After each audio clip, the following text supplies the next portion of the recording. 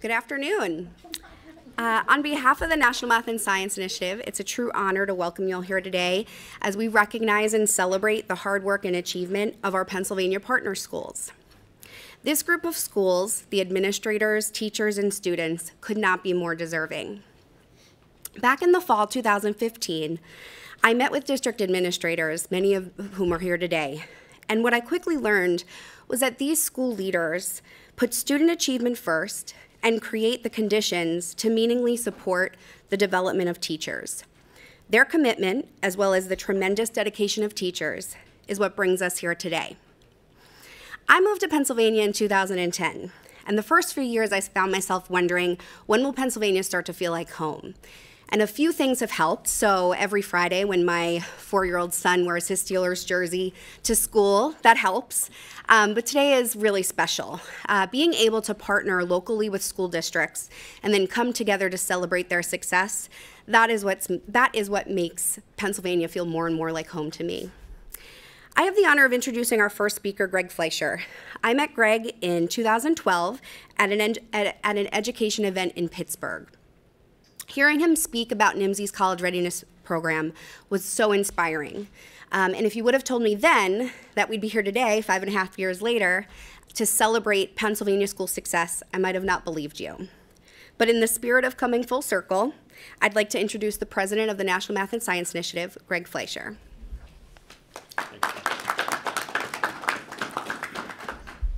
Good afternoon. I'm honored to be here today on behalf of the National Math and Science Initiative. And Governor Wolf, Secretary Rivera, thank you for your commitment to the teachers and students of the great Commonwealth. And we appreciate the partnership we have with you to partner with your schools, your districts, your teachers, and your students. I also want to thank other supporters, Senator Camera Bartolotta and Senator Brewster. Thank you for being here also. For those, for those of you who are meeting us for the first time, NIMSY is focused on increasing student access and achievement in rigorous, high quality math, science, and English coursework in schools around the country.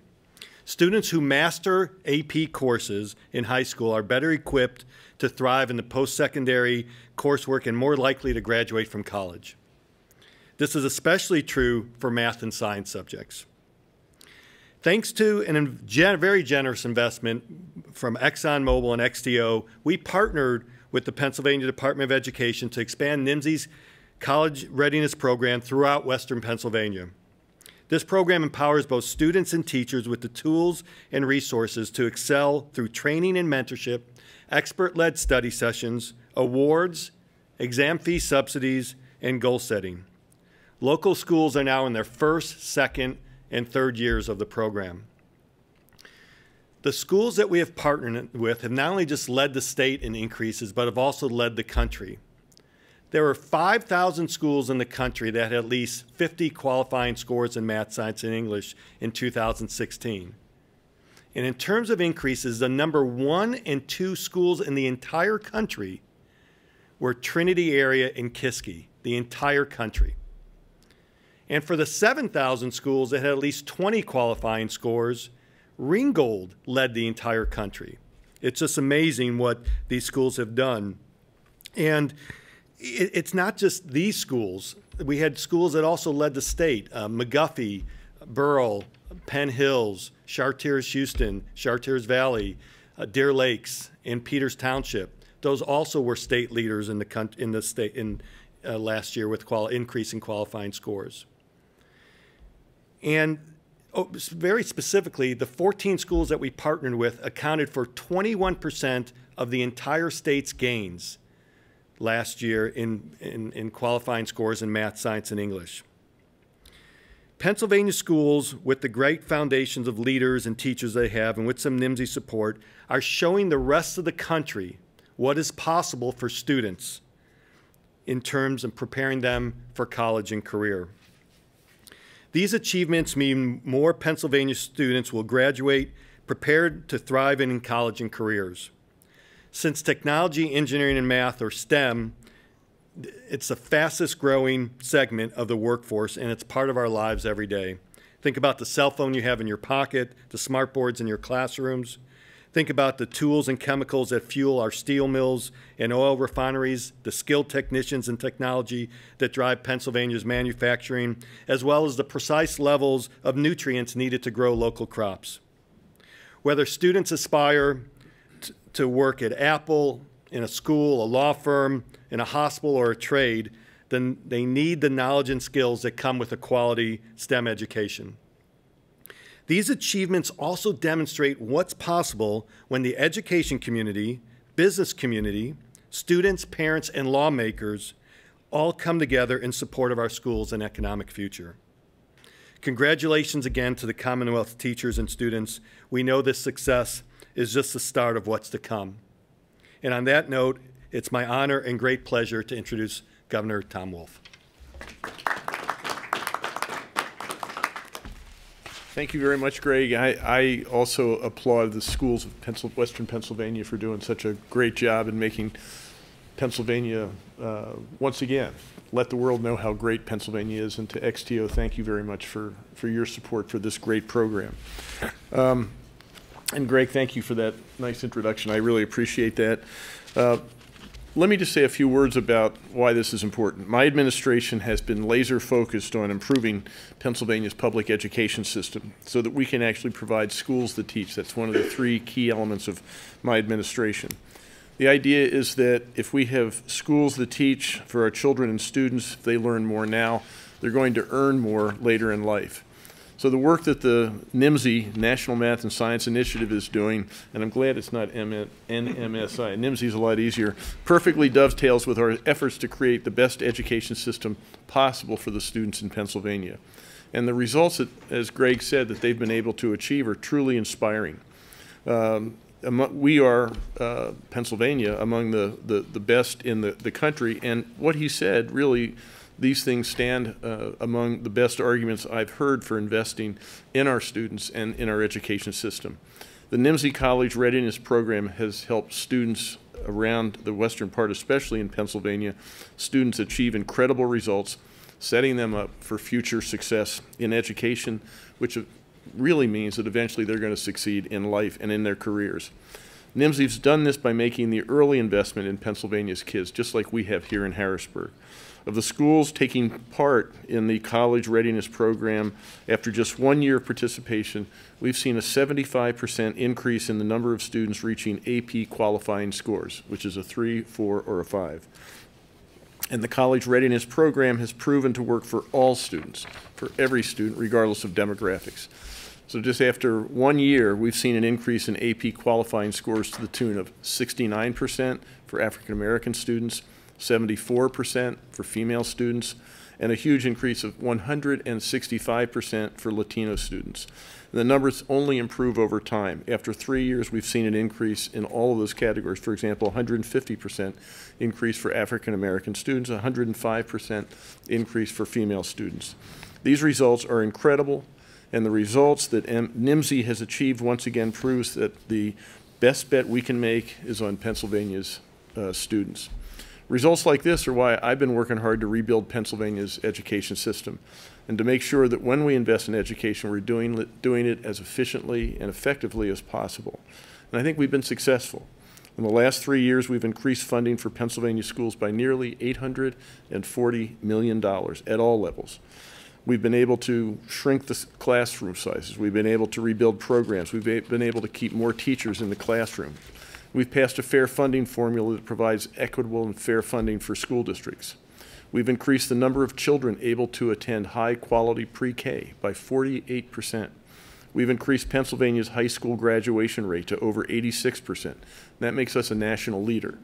We've increased the number of career and technical education students who earn industry recognized credentials by nearly 33%.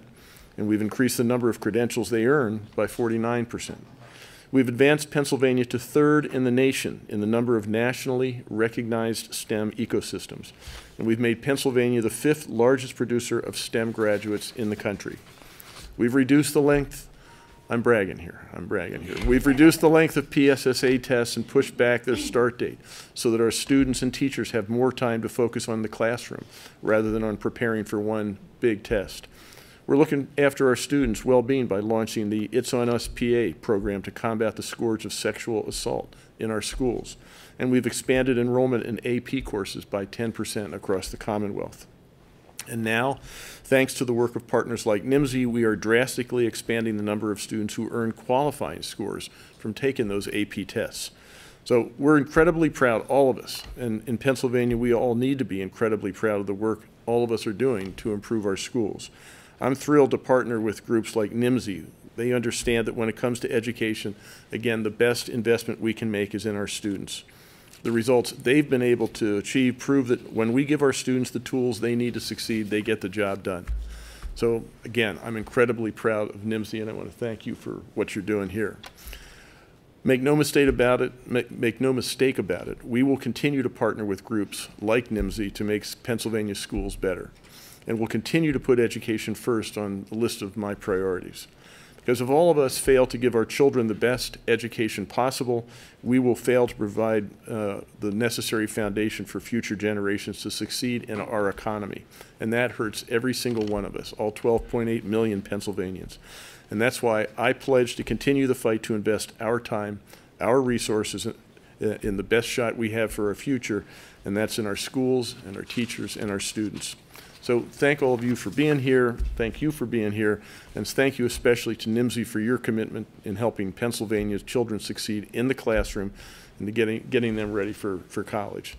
Now I want to turn this over to somebody who I think has done more than anybody else to improve Pennsylvania's system of education. That's the Secretary of Education, Pedro Rivera, who comes to this job from the trenches. You know whereof you speak, and you're doing phenomenal work to make our schools better. So, Secretary Rivera.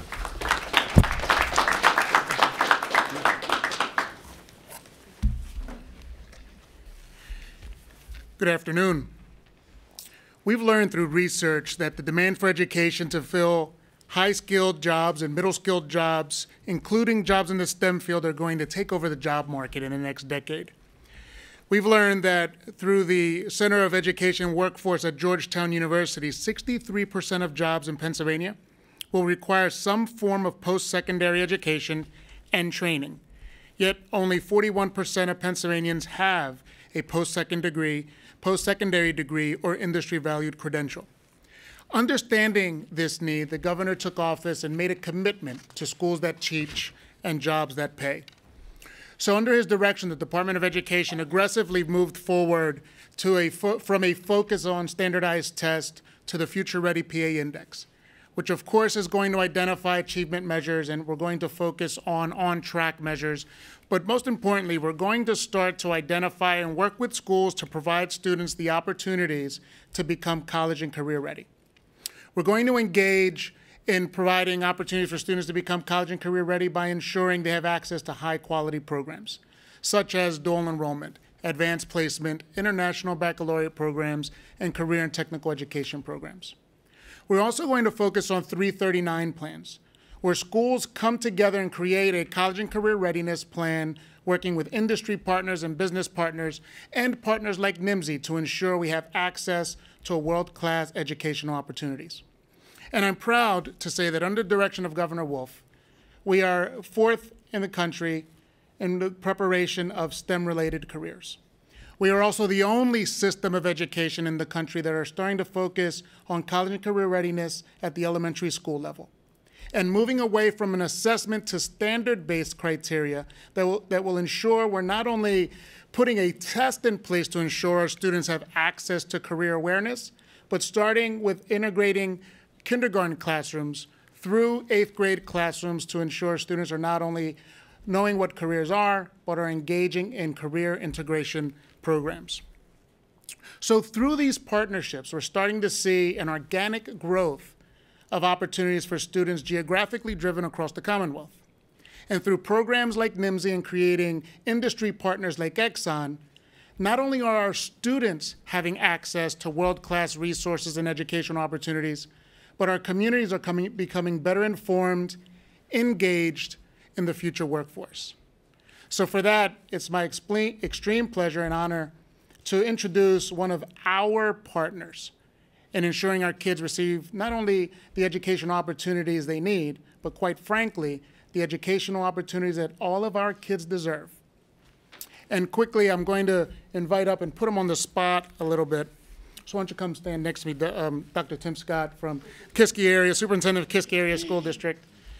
So I've had an opportunity to engage with, with Tim um, a good number of times, you know, over the course of the past few years around the educational opportunities, Dr. Scott, the educational opportunities offered to students. We've also had opportunities to invite uh, members of our staff to participate um, in activities throughout the district. And every time someone comes back uh, from, from Kiski to PDE, I either receive a note or someone knocking on my door and saying, you have to go there and, and visit. You have to see this yourself. And, um, you know, after, you know, a number of times we've connected and, and have gotten to see a great number of programs. But as late as, or as early as last week, you again wowed um, some members of my staff. And somehow he keeps finagling getting uh, the Kiski Area School District on my calendar for consideration. But I also have to thank you because of programs like yours, because of a staff like yours, because of the opportunities that you're providing to your kids in your district. You help reinvigorate the mission and the values at the Department of Education. Because of leaders like you and programs like yours, we are always reminded why important, why education is important and why providing high quality educational opportunities for our students are the only path forward and ensuring we have a successful Commonwealth. So without further ado, I'd much rather um, allow Dr. Scott to share with you all the great things happening in Kiski Area School District. Dr. Scott?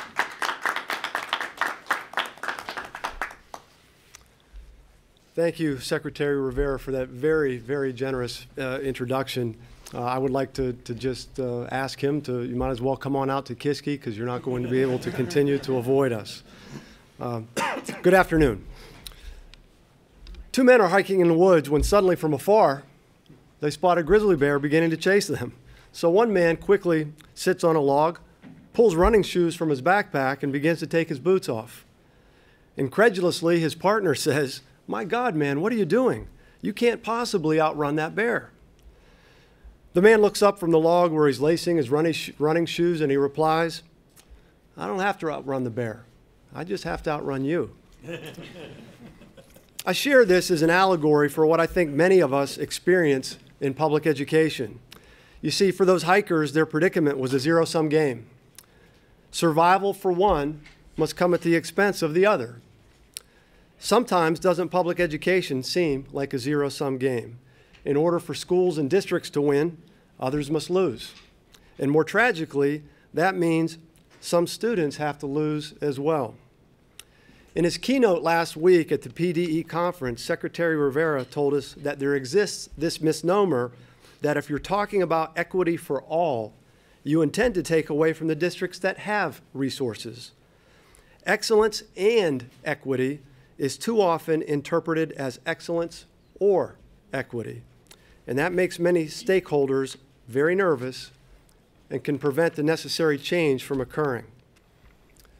What we know about the best school systems in the world is that the gaps between the high and the low performers in each system is relatively narrow, and that each of these school systems have implemented strategies to ensure that all students, not just some, have access to high quality instruction.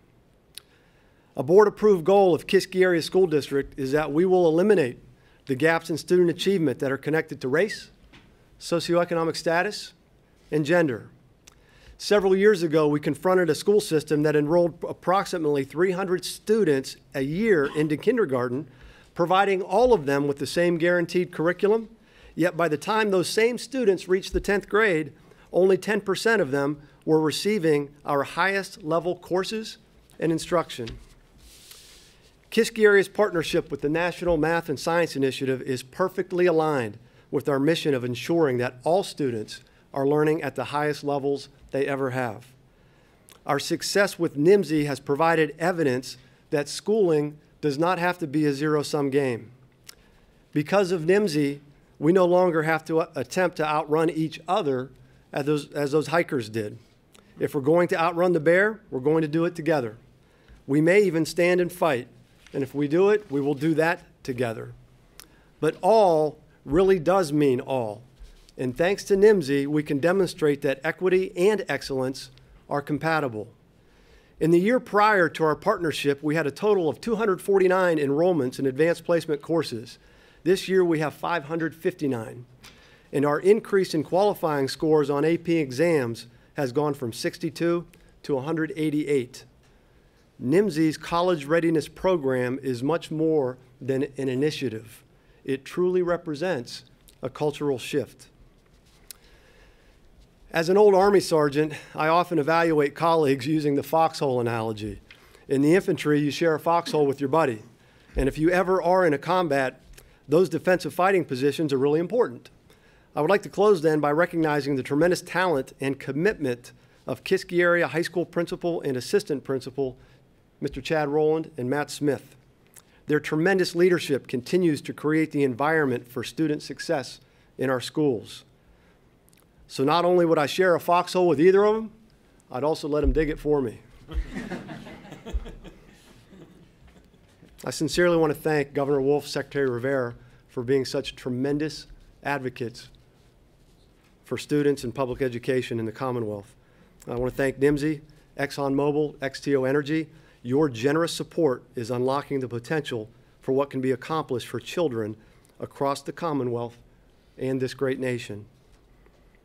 It's now my pleasure to introduce the principal of Trinity Area High School, Mr. Tom Samoski.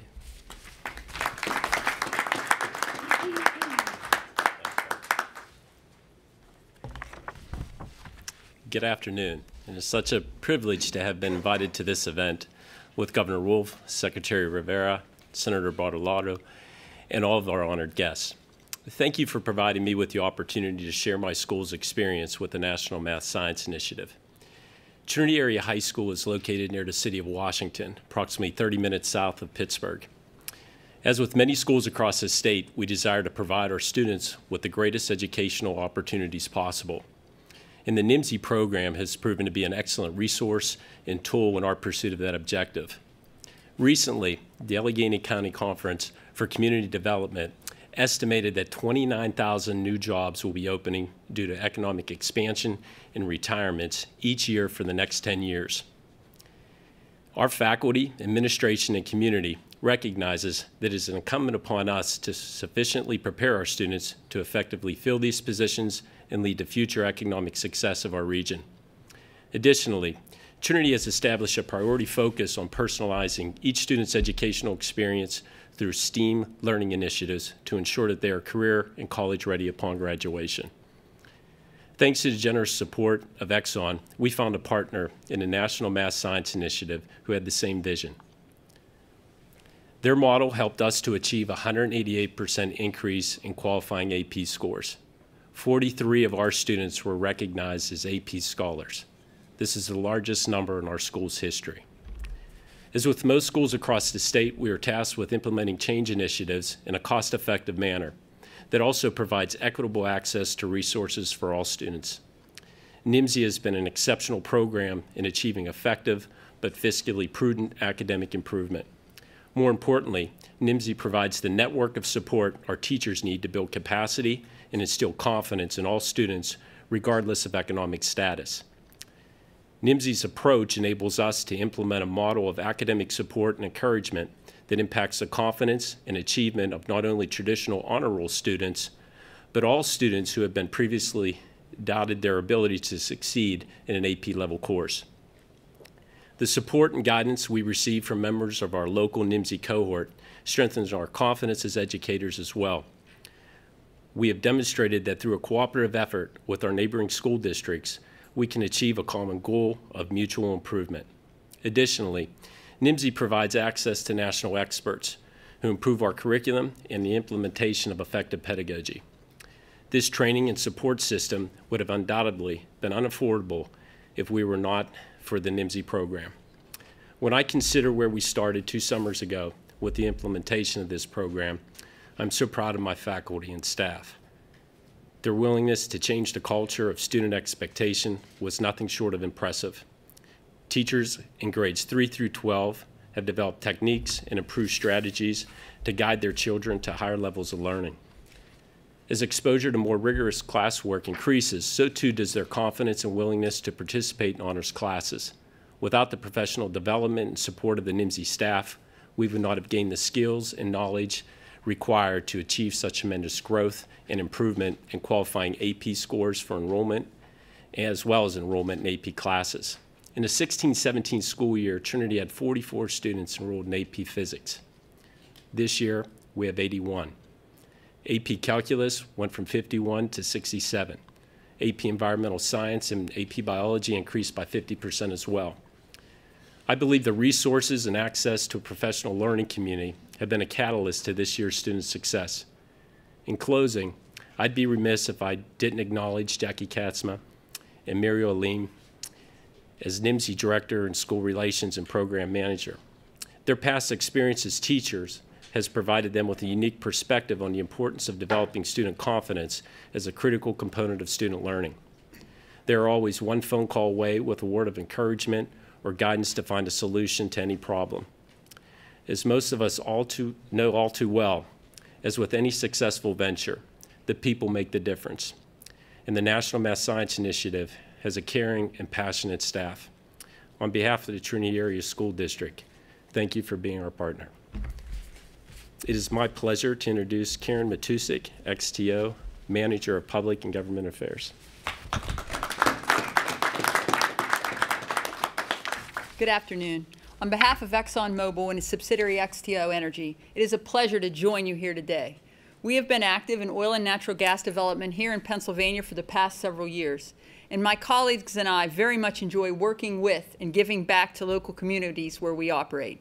Thank you, Tom, for the very important job you do for Pennsylvania students. And I would also like to recognize Governor Tom Wolf, Secretary of Education Pedro Rivera, and our senators for joining us here today.